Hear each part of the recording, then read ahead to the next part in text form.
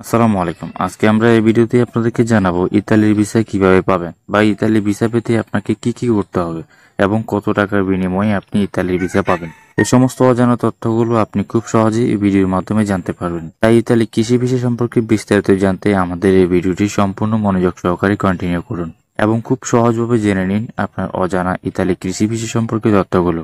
Italy বর্তমানে একটি উন্নতশীল দেশ, যে দেশটিতে কৃষি উৎপাদন বিপুল পরিমাণ হয়ে থাকে। বর্তমানে ইতালি সরকার ইতালি কৃষিখাত আরও উন্নত করার লক্ষ্যে বিশ্বের নানা দেশ থেকে কৃষিকাজে শ্রমিক নিয়োগ দিচ্ছে।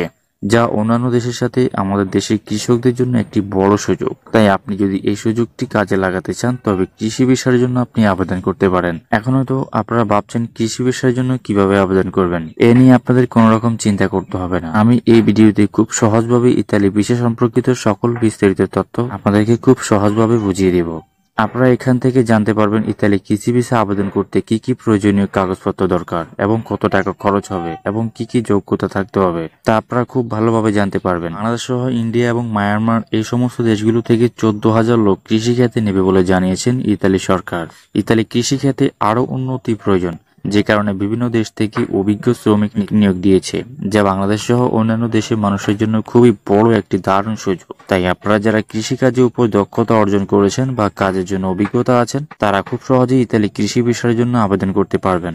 তবে অবশ্যই কৃষিকাজের উপর দক্ষতা থাকতে হবে। দক্ষতা ছাড়া আপনি ভিসার জন্য আবেদন করতে পারবেন না এবং আবেদন ছাড়া আপনি ভিসা কখনো পাবেন না। তাই মাথায় রাখবেন, যদি এই কৃষি ভিসার জন্য আবেদন করতে চান, তবে অবশ্যই আপনার দক্ষতার প্রমাণ প্রয়োজন হবে এবং আবেদনের ক্ষেত্রে আপনি দুভাবে এই ভিসার আবেদন করতে পারবেন। আপনি অনলাইনের মাধ্যমে এবং বিভিন্ন এজেন্সির মাধ্যমে আবেদন করতে পারবেন। তবে অনলাইনে আবেদন করতে অবশ্যই আপনাকে সে দেশের কোনো অ্যাপের মাধ্যমে আবেদন করতে হবে। এই ভিডিও ডিসক্রিপশন বক্সে আমি লিঙ্কটি দিয়ে রাখব।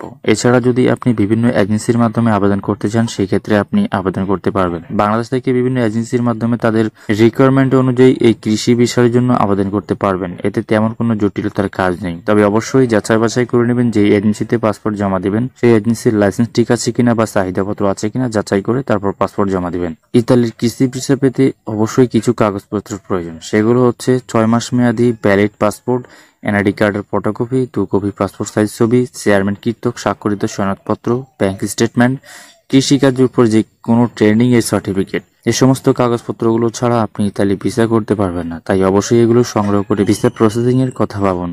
ইতালি কৃষি ভিসার দাম কত? কৃষি ভিসা সাধারণত সিজনাল ভিসা, যার কারণে এই ভিসার মাধ্যমে যেতে আপনাকে পাঁচ লাখ থেকে সাত লাখ টাকা পর্যন্ত খরচ হতে পারে। তবে কৃষি ভিসা ছাড়া অন্য যে সকল ভিসাগুলোর মাধ্যমে ইতালিতে যাওয়া যায়, এগুলো আনসিজনাল ভিসা বলা হয়। এগুলোতে আপনি এরকম টাকা খরচে যেতে পারবেন। আশা করি ইতালি কৃষি বিষয় সম্পর্কে বিস্তারিত সমস্ত তথ্যগুলো আপনারা পেয়েছেন। তাই আপনাদের অভিজ্ঞতা অনুযায়ী আপনাদের এই বিষয়ের জন্য আবেদন করতে কোনো রকম অসুবিধা হবে না।